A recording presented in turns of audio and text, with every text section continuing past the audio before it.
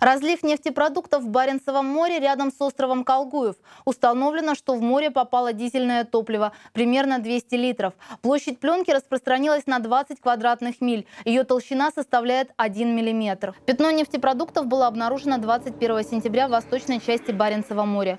Ликвидировать разлив пока не удается из-за шторма. Для выяснения причин происшествия на место ЧП 23 сентября вылетели экологи, представители отдела ФСБ ПАНАО и погранслужбы.